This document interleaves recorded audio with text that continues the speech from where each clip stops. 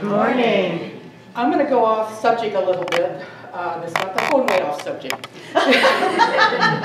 because of the fires. I live in North Fork, and I was on my way up to do a, to be part of a graduation ceremony that Angie was doing, and the fire people came through and said we were on pre-evac.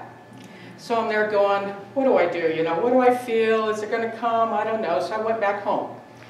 And it was really close because a, a tree had combusted like a mile ahead of the fire. So all the equipment and everything is down at the fire, and this is now burning out of control close to North Fork coming that way.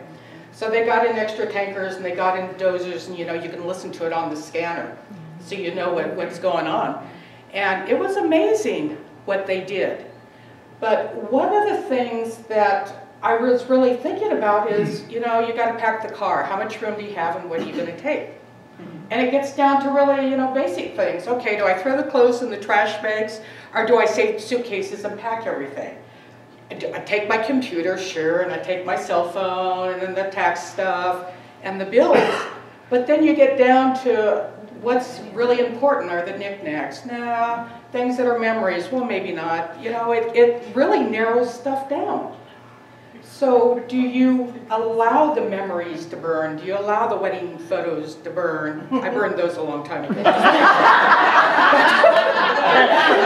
was a ceremony in itself. That's when you could burn in the backyard, you know, and you have a 50 gallon tank of drums out there and could burn it. Boy, that one went way into the night with a lot of brandy.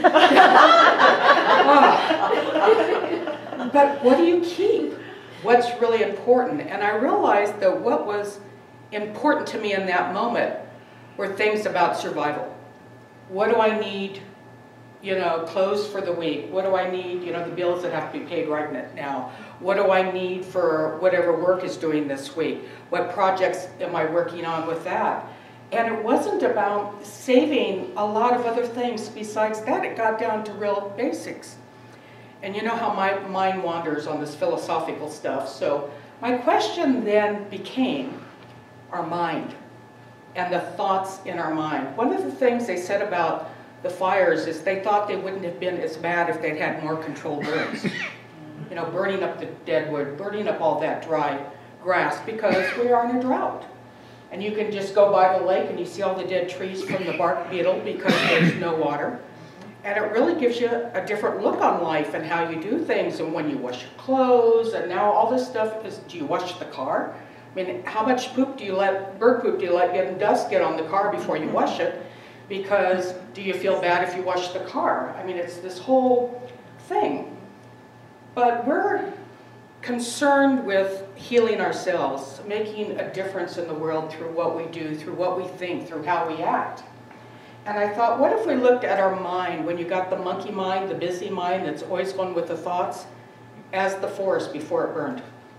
So it's full of weeds, it's full of deadwood, it's full of overgrowth, it's full of all of this stuff that hasn't been cleaned out or kept up. It's like a garden full of weeds. We have the thoughts that drive us crazy. We have the thoughts that come out of nowhere.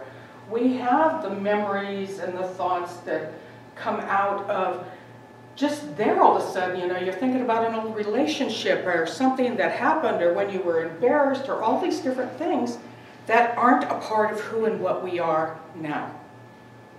They're a part of our past, but yet we're still dragging them along with us. So I was thinking, what if we did more controlled burns for our mind? Mm-hmm. If really looked at what happens, I mean, that's a perfect symbol of what happens when you don't take care of something. And how often we, we work on our minds and we work on the thoughts when we're in the middle of crisis. But how often do we do it on a regular basis? When we're going around and things are really good, we like deflect from those things and don't really work at it on a continuous basis. And looking at what are some of the little things we could do? Because how many times have you dreamed about something and you couldn't figure out the meaning of the dream and it was something from way back when? Or you find old pictures that you've kept of stuff that's no longer a part of your life and doesn't really mean anything, but you've been lugging this box around forever? Or you have old letters or old school papers. I've had report cards for forever. I have no idea why I was lugging those around. And when my parents passed, my dad's report cards and school books were still in the garage. You know, it was just one more piece of paper or stuff to lug around that didn't have anything to do with our life today. So I want you to start thinking about what's going on in your mind or in your life and is it really relevant to today? Is it something that you need to keep being aware of, keep thinking about, keep worrying about? How many times you go back to conversations years ago and second guess what you said and wonder if that's why you're not talking to that person now? All these things, and that can drive you nuts for weeks. You know, what did I say? Oh, my family blew up this week. We're having a reunion on the 4th of July. And, oh, it started already. One even saying we should cancel. so all of these things and the issues were issues that all go back to childhood that haven't been healed. These people are all in late 50s and 60s, one almost 70. You know, by now you think we would have gotten a handle on some of that stuff. They're still dragging all those memories, all those thoughts, all that garbage, poisoning their lives. I would suggest that we do some control burns in, in easy ways. I found a couple that work. If it's a picture in my mind, I think of the computer. The computer has this question that says, do you want to archive this? And to me, archive is this big no-no land, never land out there that I'll never see this thing again. It's just a dump place for me. So when a picture comes up in my mind, I'll sit there and go archive, archive, archive, and you know, it's like the old slides. It kind of pulls it like a slide off and it's gone. But I'm telling myself and giving instruction to my mind, my conscious mind, that I don't want to see this anymore. I don't need it anymore. It can go somewhere else. There are all kinds of little things that we can do that we can multitask. I mean, you can do that in the shower, you can do that in the car, you can do it in the instant it comes up. There are so many little things to do to help. You're in the middle of crisis or all of these things going on, and Jenny and I talked a lot about this this last week, things to do. Turning your affairs over to Source, to God, whatever the word is that you use. Just surrendering it because if it's in a mess and you're in a mess, you don't have control over anything. It's happening to you, you're reacting to it you're not thinking in the best way possible. You, you could have the depression going on, or be sick, or be nauseated, or just be triggered all the time with emotions and have anger and all of this going on. In the middle of that, we've got to figure out a way to help ourselves. So turning it over, just saying, and being thankful for it. I'm so grateful in this moment when I'm miserable and the world sucks that Source is handling all of this for me and letting it go, stopping the worry because we do believe in this wondrous power with universal laws that work. And they work whether we're aware of them or not. It's going to work because Source has an intention for us. That intention is for us to be loved and have everything happen for our highest good. And while we may have a lesson to learn from the muck, I don't think Source wants us to be there forever. We could get the lesson and move on. So by turning it over, we can get the lesson and we quit fighting it. And we quit fighting what's going on. Or the one that Jenny does that's so good about, in this moment. And she lists the cup half full instead of the cup half empty. So in this moment, right now, just think of it for yourself. In this moment, we're here with friends. We're listening to good music. We're listening to the things that are going on. We're sharing with friends. In this moment, we all had some kind of transportation to get here. And I hope we all have transportation home. Think about it. In this moment, you have a home. In this moment is your, is your electricity on. In this moment, your place isn't burning.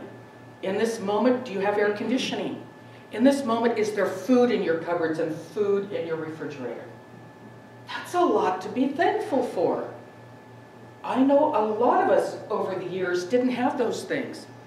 Ones that were homeless, ones that didn't have any food, ones that didn't have heat, having to ask friends for help or do without. In this moment, We have a lot. And sometimes I think we have so much in this country that we forget to appreciate it. We feel that it should be more or be better instead of being blessed by what we've been gifted with. To find a way in the moment when you're in the muck, or when you're in fear from fire, or whatever's going on, whatever the stressor is, to find the moment to be grateful for what we do have. I had a number of people call me, text me, email me that they had a home for me to come mm-hmm. if something happened, a place to go. That's way high up on my list. Those people would have fed me, taken me wherever I needed, probably loaned me money. They would have given me a shelter. Who could ask for more than that? That is a gift to be appreciated, a gift of people, the kindness. We see that every time there's a catastrophe up here. People rally around, they help, they give of their time and their fundraising and their dollars and clothes and whatever it needs to be. Last year, they gave so much they had extra clothes, they didn't know what to do with all of it. They had to quit taking donations. That's the kind of people that are in our lives.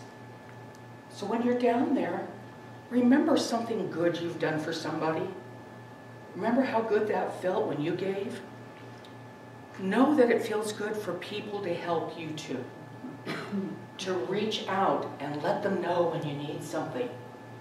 To reach out and say, I don't have this or I don't have that. People don't judge that.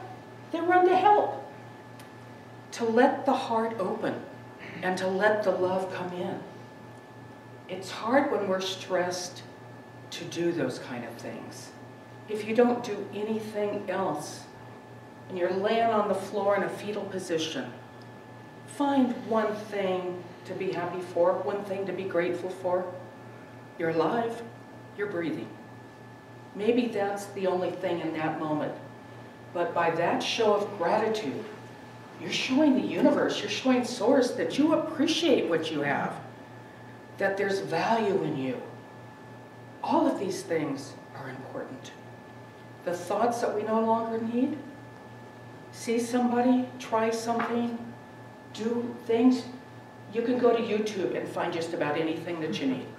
You can find EFT, you can find prayers, you can find like-minded people. You can find it on Facebook. You have friends here, you have ministers here, we have practitioners here. We have people that will sit and listen and help. Sometimes you just need to be heard. We do that a lot. We'll pull somebody across, go outside, blah, blah, blah, blah, blah, I'm done. You just want to get it out, to be heard and not be invisible. You have to reach out to not be invisible. You have to reach out for people to know you have a need. I'm busy in my life, but if you tell me that you need something, I don't have a problem with stopping and taking care of that. If I can help, I'll be there. But damn, you got to tell me first that you need it. It's no great hearing a month down the road everything that went wrong. I can't help you then. And if I could, what good's it going to be? You needed it when it was happening. Reach out to your friends, they're important. Reach out to the family that you get along with, they're important. but to have someone in your life that you can talk to. And if you don't have someone, ask around in here, because there's a lot of good talkers and listeners in here. But we don't have to do it alone. Work on those thoughts that put us in those places. Do the little things that help. Always gratitude, always. Always a connection to source, always. No matter how you pray or how you're connected or how it's done, make that connection that works for you. Then you're never alone. You know someone's always got your back, and that is so important. And today we have the healing service and the healing circle. If anything is stressing you out, if anything's going on, please get in the circle. When we pray and when we come together and we have an intention, it makes it bigger and bigger and bigger. And we all deserve to be happy and healthy and have a good life. Thank you. Mm-hmm.